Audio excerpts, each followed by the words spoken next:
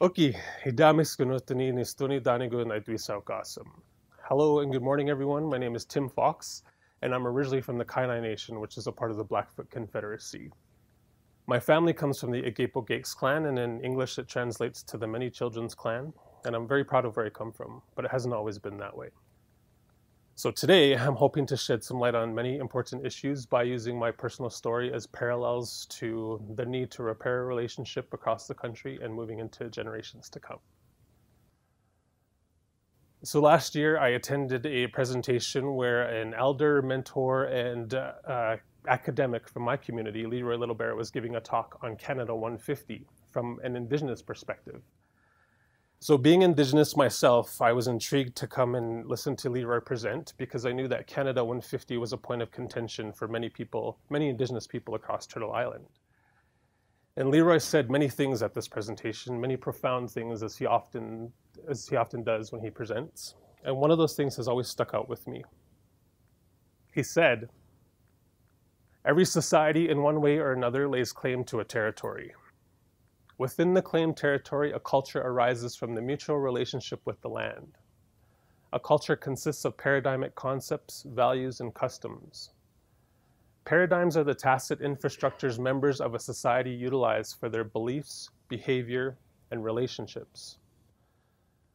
So, in other words, the way societies and nations are supposed to be built are meant to come from the values, beliefs, and customs of the original people of that land.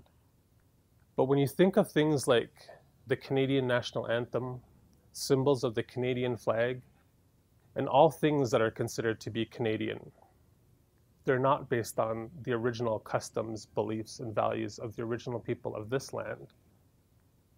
So Leroy was an ambassador for Canada 150 but he made it clear to the people who asked him to be an ambassador that he was going to use that platform to tell the missing story of Canada 150 and be a voice for the Indigenous people uh, of this territory. So, within this vein, we have begun to develop a community resource that talks about the importance of providing and giving voice and context as well as acknowledgement.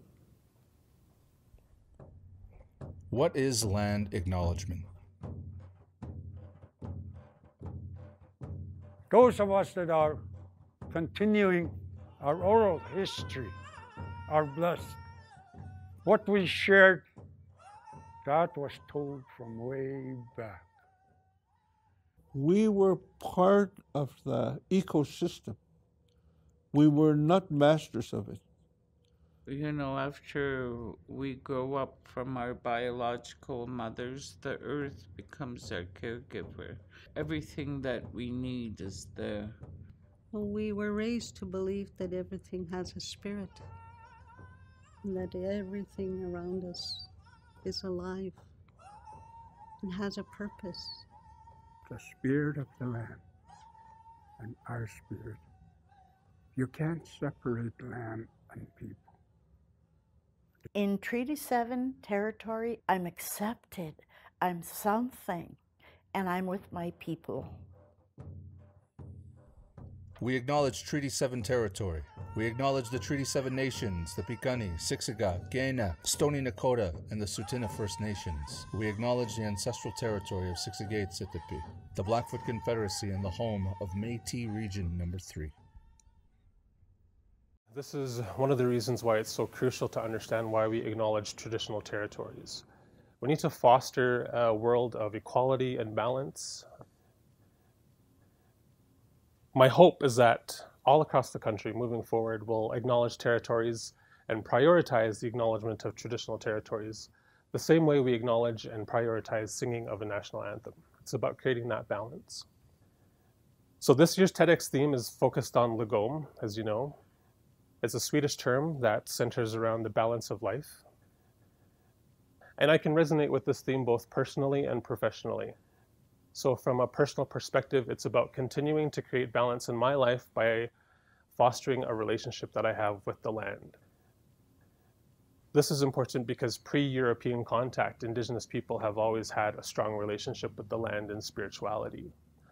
Our belief is that everything has a spirit, Animate things, inanimate things carry spirits meant to create balance for individuals and for the environment, but it's, it's meant to benefit everyone. That was our belief system. I've been taught stories of living off the land in a way that left enough for future generations. Gratitude for the many gifts this earth provides us with was and still is incorporated into ceremony and offering of tobacco. Hunters would only hunt enough so that our families and communities were fed. We understood that no one above this, above the Creator, governed this land and our relationship with it. Traditional community structures fostered consensus. And although there, there still are and there were people who held leadership roles, everyone was involved in the decision making process. Everyone had that equal voice in our communities. Children were at the center of our community structures. They were the most important people of our communities. In some nations, Infants were kept in moss bags for the first few months of their life. They weren't allowed to touch the earth just because they were seen to be so sacred. They were going to carry our way of life, our values, our traditions, our spirituality into the future for future generations. Language, identity. Our traditional family structure goes beyond the biological connection that we have to our parents, and it extends to our aunts, our uncles, our grandparents, who we also consider our parents. Cousins become siblings. Biologically, I have a younger brother, and I have one sister biologically.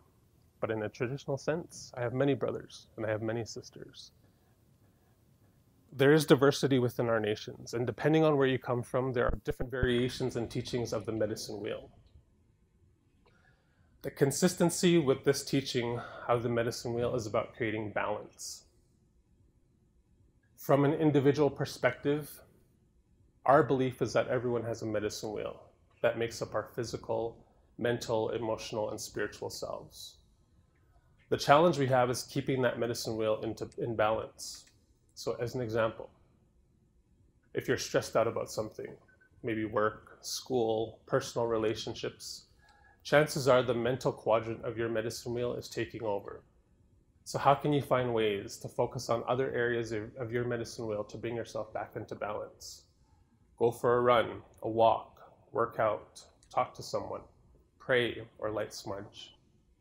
It's about trying to find that balance and, and, and disruption so I'm emphasizing all of this. I'm emphasizing traditional indigenous paradigms of thought and practice when it comes to relationships with the land and spirituality and family. Um, I'm emphasizing where I come from for a reason.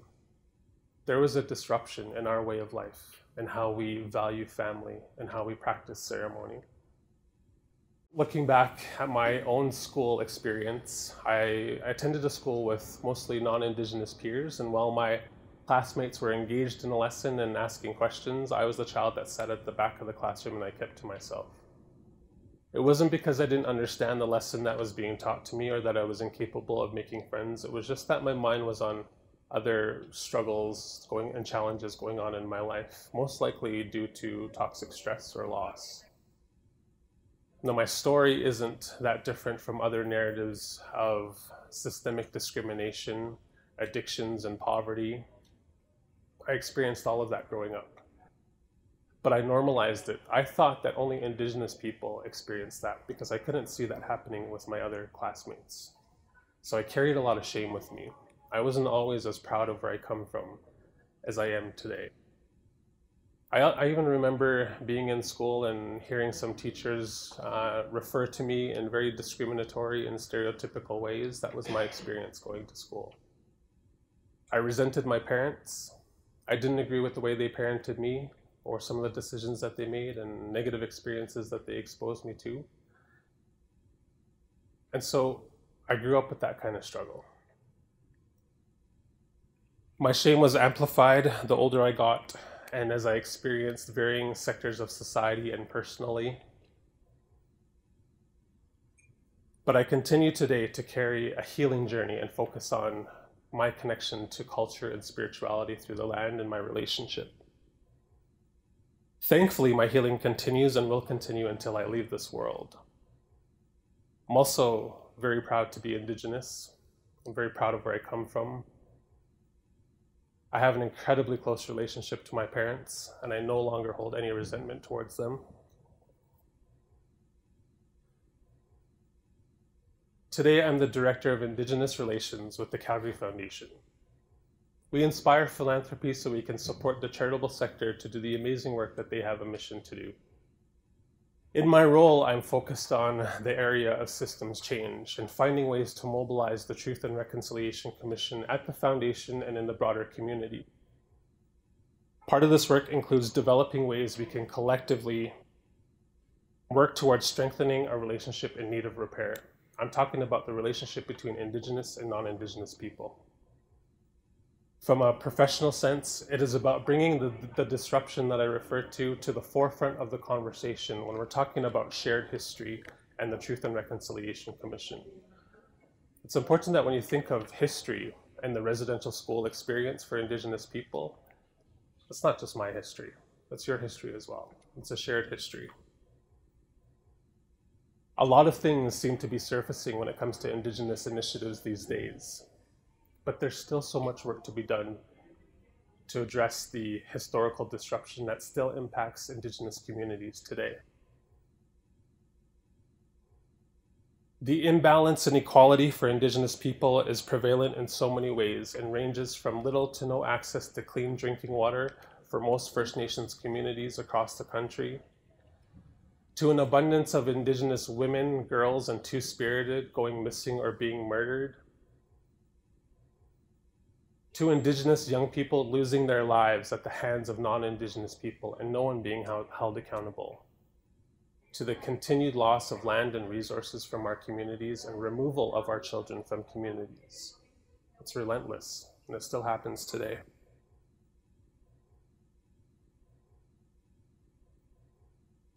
Imbalance? No, I think it's injustice there's very little separating my personal experience and my professional experience, as you could probably tell from these examples. I do believe change will happen and shifts will occur, but I, I, would be naive to think I will see the significant changes we need in my lifetime. I think uh, I'm hopeful that they will, but it's not the reason I continue to do this work. I am motivated to do this work for future generations, like my daughter, who is seven years old she will become an Indigenous woman one day. And that's both exciting and terrifying. Sorry. There's a reality to our situation where I'm scared that anything can happen to her. She can go missing or she can be murdered and nothing will be done. And based on recent incidences for Colten Boushie and Tina Fontaine, she can lose her life at the hands of a non Indigenous person and no one will be held accountable. That's what I think about when I think about my daughter growing up. On the flip side, I'm excited about the idea of my daughter overcoming layer upon layer of challenge and unequal prioritization and experiencing a level of success that we see in so many Indigenous women today, like her mother, her grandmother, and her aunt. And in the broader community, where there's an abundance of Indigenous women succeeding in leadership, advocacy, and success. All of these women inspire so many, including my daughter and I. Another point of Leroy's presentation last year focused on the age of reason from what I understand, as, and as he explained it, the age of reason is about mathematics and science. If you couldn't prove it through math or science, it was discounted and was seen as irrational. Now, the age of reason was in full bloom at the time of colonization of North American indigenous people. So you can imagine what European settlers were thinking when they came across our people practicing traditional forms of spirituality and culture in connection to land. They had no problem committing atrocities on our people, and it still continues today. There is a thought pattern that exists. Cindy Blackstock refers to it as a colonial dichotomy of the savage and the civilized. the savage being indigenous people, and the civilized being the settler community. One of the pioneers of this thought pattern is the well known Sir John A. Macdonald. Now, we all learn about John A. Macdonald as Canada's first Prime Minister, and only recently have we begun to learn about the, his, his intentional destruction and assimilation efforts of the Indigenous people. He said, Indian children should be taken away from their parents so as to eliminate their barbarian influence and expose the children to the benefits of civilization. The teacher has been sent out as an educational missionary to introduce culture changes in Indian societies. It's a thought pattern that fueled colonization and still exists today. Adopting indigenous paradigms of practice and culture is not only needed to create balance in life for Indigenous people, but it is imperative for the sustainability of this land. We need to seek to understand movements of change. Gone are the days when Indigenous people had no say in all matters associated with our lives. We need to be acknowledged and respected as equal members of this society who have an insurmountable, insurmountable opportunity to contribute to the social and economic fabric of this country. After all, the Indigenous population is the fastest growing segment of the Canadian population. So Canada needs to prepare itself for this growth by fostering a society and a nation of balance and equality. Lagom for me is related to mobilizing efforts of reconciliation. At the Calgary Foundation, we have entered our own journey of reconciliation, and while this is an ongoing process, we have already begun to experience a shift in how we work. And this shift is evident in very small, subtle ways, but also very profound, intentional realizations that are embedded into our practice at work, and at home. But we are only one small piece of a larger puzzle of society.